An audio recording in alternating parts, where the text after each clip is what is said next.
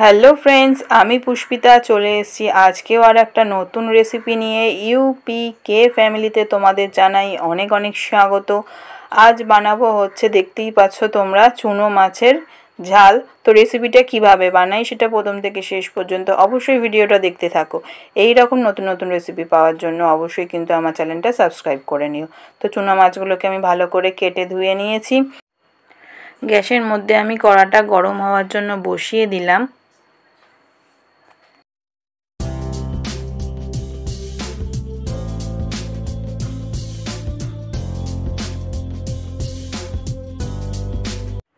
কড়াটা আমার গরম হয়ে গেছে, দিয়ে দিলাম সাদা তেল আর এদিকে মাছের মধ্যে লবণ আর হলুদ ভালো করে মাখিয়ে নিয়েছি।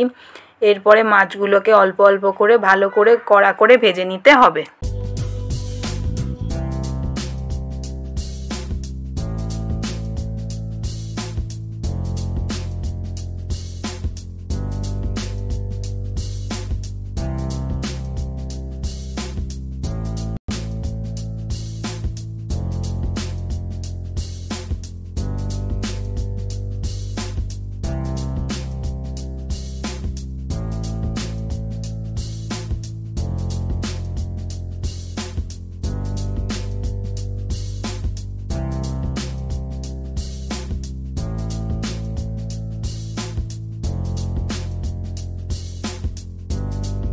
মাছগুলো আমার খুব ভালোভাবে ভাজা হয়ে গেল।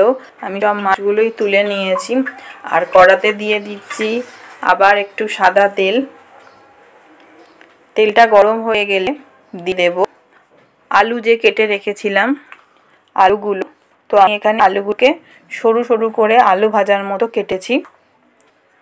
এই আলুগুলো দিয়ে দিচ্ছি। এখানে আমি তিনটা আলু নিয়েছি। মিডিয়াম সাইজ সে আলুগুলোকে ফার্স্টে ফ্রাই করে নেব। আর তার সাথে একটা বড় সাইজ পেঁয়াজ আর তিন চারটে কাঁচা লঙ্কা কুচিয়ে নিয়েছি। সেইগুলোও দিয়ে দিলাম। দিয়ে ভালো করে একসাথে ফ্রাই করে নিতে হবে। একটু ঢেকে ঢেকে রান্নাটা করলে আলুটা খুব তাড়াতাড়ি ভাজা হয়ে যাবে।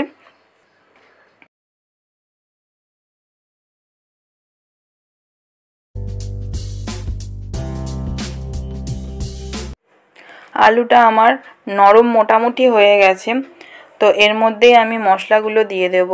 তো দিয়ে দিলাম ধনে জিরে গুঁড়ো, লঙ্কার গুঁড়ো, হলুদ গুঁড়ো, লবণ। দিয়ে এবারে আলুর সাথে একসাথে মশলাটাকে ভালো করে কষিয়ে নেব। একদম আলু নরম হয়ে গেলে মশলাটা আর কষানো যাবে না, তাই জন্য অল্প একটু নরম হতে না হতেই মশলাটা দিয়ে দিলাম। এবার ভালো করে কষিয়ে নিতে হবে। আর দিয়ে দিচ্ছি টমেটো কুচি। একটা টমেটো আমি কেটে কেটে দিয়ে দিয়েছি আর দিলাম অল্প করে জল। দিয়ে এবার ভালো করে আলুর সাথে মশলাটাকে কষিয়ে নিতে হবে। আর দিয়ে দিচ্ছি চুনো মাছগুলো। চুনো মাছগুলো দিয়ে একটু ঢাকা দিয়ে দিচ্ছি। ঢাকা খুলে কিছুক্ষণ পরে আবার একটু নাড়াচাড়া করে দিচ্ছি। এইভাবে অল্প অল্প করে হালকা হাতে কষিয়ে নিতে হবে।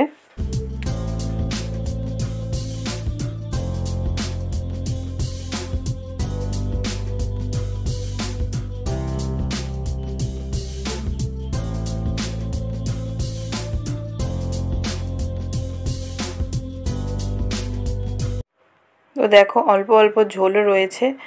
এর থেকে আর শুকনো করিনি, তোমরা চাইলে এর থেকেও শুকনো করে নিতে পারো। তো রেডি হয়ে গেল আমার চুনো মাছের ঝাল। রেসিপিটা ভালো লেগে থাকলে অবশ্যই লাইক করে দিও। ইউপিকে ফ্যামিলি সাবস্ক্রাইব করো। আর আমার পাশে থেকো।